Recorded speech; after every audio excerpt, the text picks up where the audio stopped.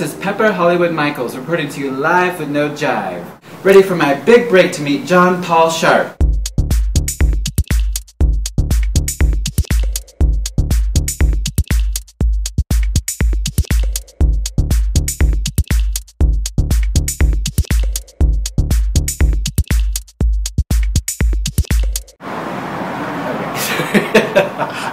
uh,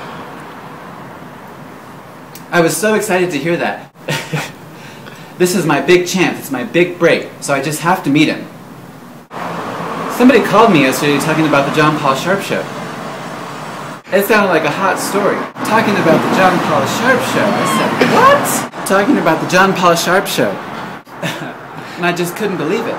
Finally, my big break. My big break, big break, break, break, break. And I said to myself, that story is so hot, I just had to chase it. So here I am today to pay John Paul Sharp a visit.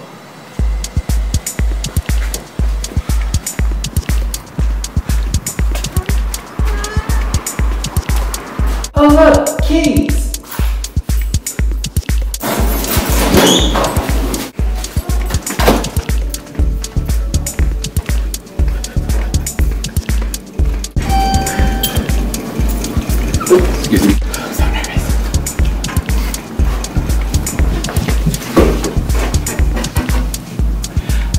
You guys that I'm really nervous about this. This is probably the biggest break I've ever had. I've been a beat reporter for quite some time, never have I had such an opportunity. Should be pretty exciting.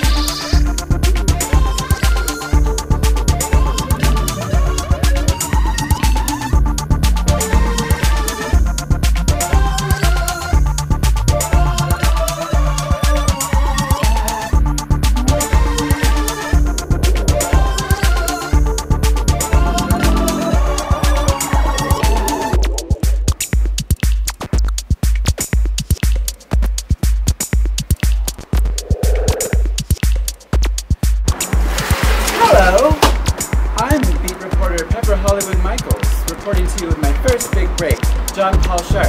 John Paul Sharp, how are you? Who are you? What are you doing here?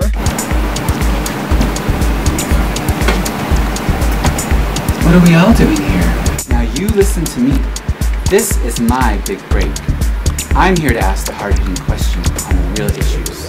John Paul Sharp, what drives you? Are you having sex with my boyfriend? Well, not every day. What was your childhood like? Is that a glass penis in your hands? Would that inspire you if it was? Would it drive your creativity? So, are you a man or a woman? That's none of your flippin' business. If I were a man, where would you see yourself in five years from now?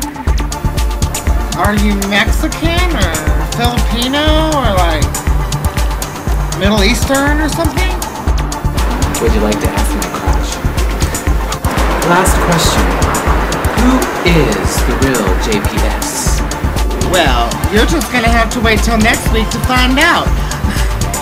Well, well, there you have it. Tune in next time for more Live with No Jive with Pepper Hollywood Michaelzz.